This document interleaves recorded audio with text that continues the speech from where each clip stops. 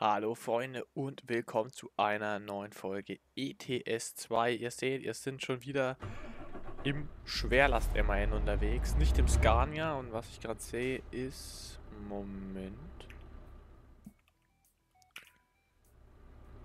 Ah. Wir müssen einmal den Sound ein bisschen leiser machen. Audio. Äh... Alles einfach mal ein bisschen leiser. Bam, bam, bam. Bam, bam, bam. Bam, bam, raid.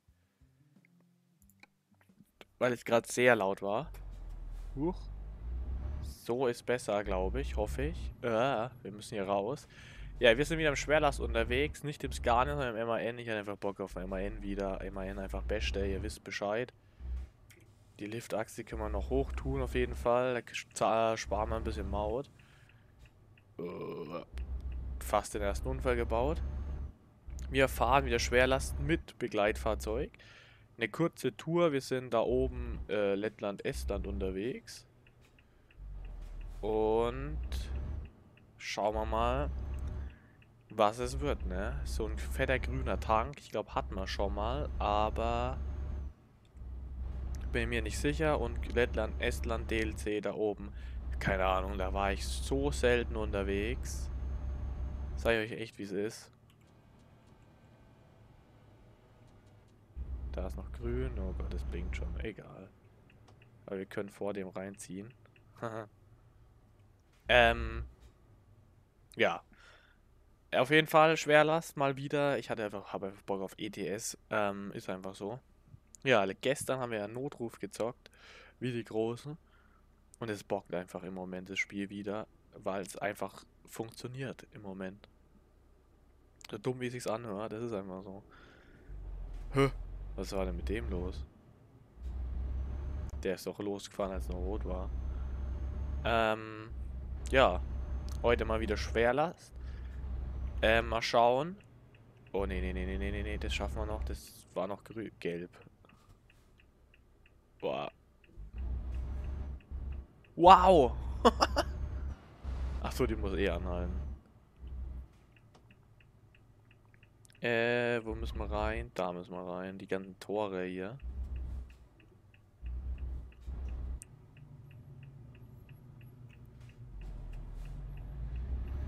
Seid gespannt. Eingabe. Aufträge. Und da ist es ein Industriekondensator mit 60 Tonnen und Abmaße jenseits von Gut und Böse. Aber so ein Ding sind wir ja schon mal gefahren, das heißt, wir sind ja nicht komplett ins kalte Wasser geschmissen. Äh, ist auf jeden Fall ein ordentlicher Wummer und ich würde sagen, wir starten dann auch jetzt gleich rein, wenn der Kontrolleur, der so böse guckt, der von UPS engagiert wurde, ähm, können wir dann auch los. Liftachse muss natürlich noch runter. Die hängt natürlich noch oben. Mir gefällt unser Schwerlast MAN einfach besser wie das Scania, ich sag's wie es ist. Weiß ich Bescheid. Liftachse ist unten. Wir fahren los. So, let's go, der Hase.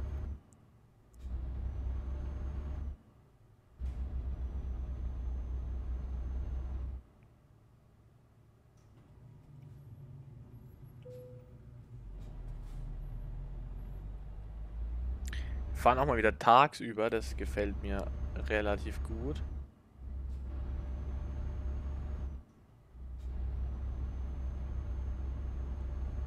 Da bin ich auch relativ froh drüber, dass wir mal wieder tagsüber fahren.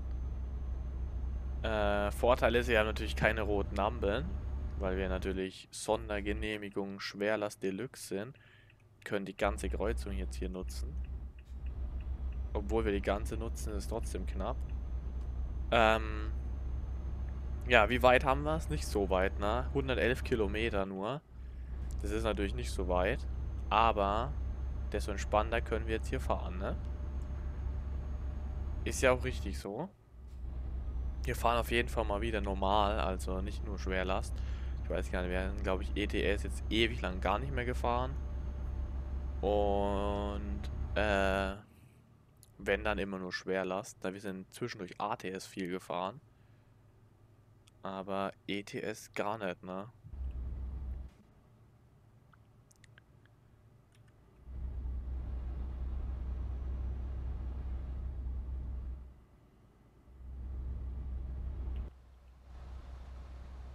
Auf jeden Fall ein ordentlicher Oshina.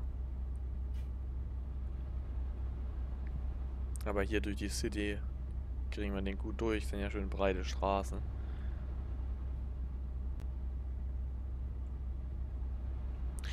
Ich privat bin jetzt aktuell in Spanien unterwegs. Ne? Also ich bin jetzt in Barcelona angekommen. Und habe richtig Bock jetzt da ein bisschen tiefer nach Spanien reinzufahren. Vielleicht, dass wir da auch nochmal ein, zwei Touren zusammenfahren. Ich hab, bin jetzt auf, dem 9 MAN, auf dem 221er äh, umgestiegen. Hatte ja vorher den anderen, den, wo ihr kennt, den schwarzen mit Totenkopf. Jetzt habe ich einen neuen. Das ist der 221er, der ist auch wieder schwarz, jetzt so einen gelb-weißen Blitz drauf. Dreiachser dieses Mal mit Liftachse. Bin ich mal überlegen, ob ich das doch wieder rückgängig mache, dass ich doch wieder einen Zweiachser habe. Oder äh, eine Lenkachse reinbaue. Äh, da bin ich noch ein bisschen am überlegen, wie es läuft. Aber das sehen wir ja dann. Wie es ist aktuell, Dreiachse mit Liftachse. Hätte aber gern doch eine Lenkachse.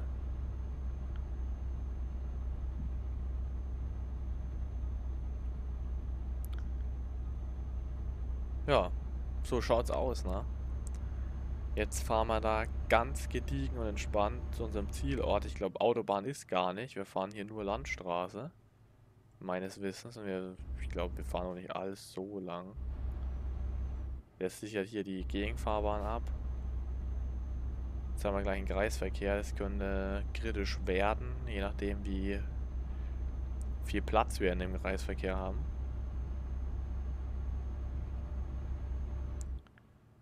Aber der sieht aus, als wäre der relativ akzeptabel. Ja, der ist entspannt, der Kreisverkehr. So.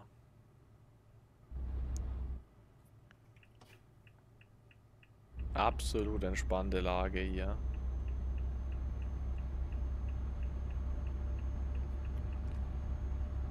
Wie weit haben wir es noch, Freunde? Noch 82 Kilometer.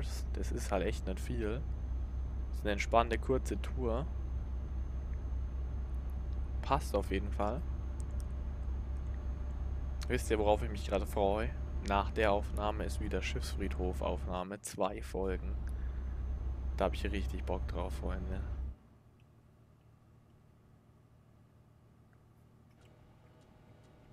Machen wir mal den Radar da rein. Oh, oh, oh, oh, oh, oh.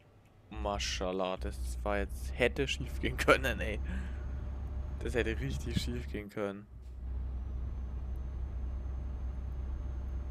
Aber hier fahren wir erstmal schön durchs nächste Dorf. Hier ist auch bestimmt mal entspannt, äh, mit, äh, ohne Schwerlast hier mal durchzuheizen. Der bleibt hier richtig vorbildlich oben stehen. Das ist ja mal richtig nett. Da gibt es direkt mal eine Dankeschönslichthube ähm, dass der jetzt gewartet hat, bis wir durch sind. Obwohl er easy weiter hätte fahren können. Weil wir sind gar nicht so breit, ne? Also wir passen noch gut auf die Spur, wir sind halt nur hoch, ne? Gar dieses komische Antlus-Ding, das hängt schon ein wenig raus, aber halt auf die andere Seite. Und da ist es jetzt ja nicht so dramatisch. Da ist ja eigentlich immer grün hier oben.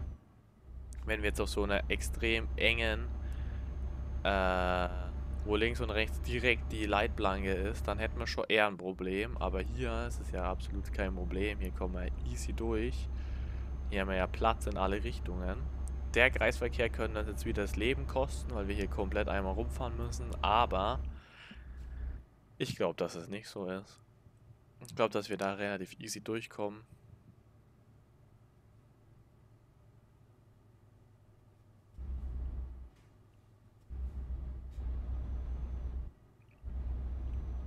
Ja, weil wir sind ja, wie gesagt, nicht breit.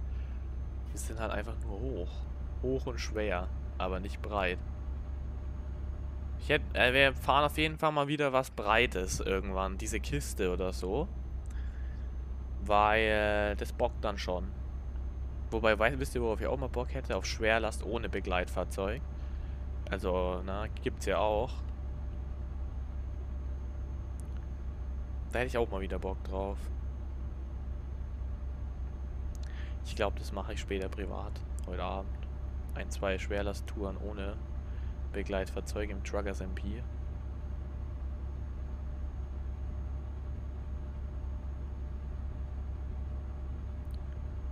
Der blockt hier wieder die Gegenspur. Der Kollege fährt einfach weiter, langsam und gediegen. Aber ist ja auch okay. Wir haben ja den Platz. Fahren wir jetzt doch auf die Autobahn. Ach ne, das sind Züge. ich dachte, da unten ist die Autobahn.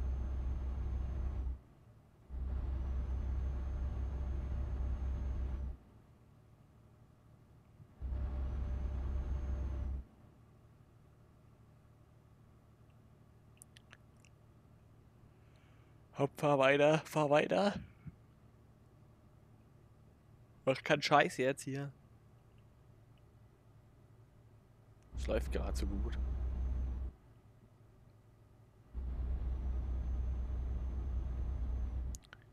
Nochmal ein Kreisverkehr. Hier gibt so viele Kreisverkehre. Aber die sind alle richtig schön großzügig. Okay. Ich soll es einfach lassen irgendwas zu sagen. Das ist echt eine einfache Tour. Wir können ja mal ganz kurz schauen. Wir haben 60 Tonnen geladen und sind 12 mal 5 mal 4,7 Meter hoch. Also wie gesagt, kaum Überbreite. Ne? Und kaum Überbreite. Klar, 60 Tonnen und 12 Meter lang ist schon was. Und 5 Meter hoch. Aber es kommt, das Schwierige beim Schwerlast ist die Länge und die Breite, würde ich jetzt mal behaupten. Die Höhe, die ist halt da. Aber wenn die Strecke passt, dann äh, macht es ja auch kein Problem. Die Höhe. Weil die ist ja vorher gecheckt, dass da keine Brücken oder irgendwas ist, was da fehlen könnte. Natürlich kann es schief gehen, aber muss im besten Fall halt nicht. Aber die Breite und die Länge hast du halt immer dabei, bei jeder Kurve und egal wie breit oder eng die Straße ist, ne? Und das Gewicht ist ja eigentlich auch kein Problem, vorausgesetzt das Zugfahrzeug äh, kommt damit zurecht. Ne? Ich würde halt hier kein 60 PS Renault Twingo davor hängen, aber mit einem 640 PS MAN oder 750 PS Volvo ist es natürlich kein Problem, ne?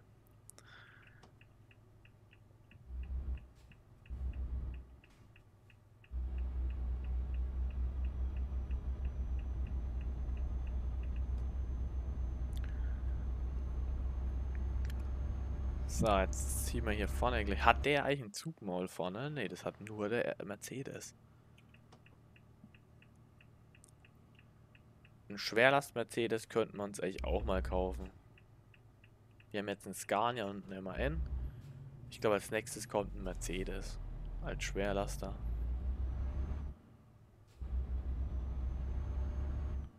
Weil mit Mercedes fährt man halt echt. Also ich fahre selten Mercedes hier im Spiel. Gerne. Äh, wisst ihr, dumme Frage. Natürlich. Klar, unser LKW auf der Arbeit ist Mercedes, aber ich fahre mit dem eher weniger. Und ja. So, abgesattelt ist, wir sind angekommen, 112 Kilometer, waren es insgesamt. War eine entspannte Tour mal wieder. Also wie gesagt, wenn ihr es mehr sehen wollt, sagt einfach Bescheid und bis zum nächsten Mal. Tschüss.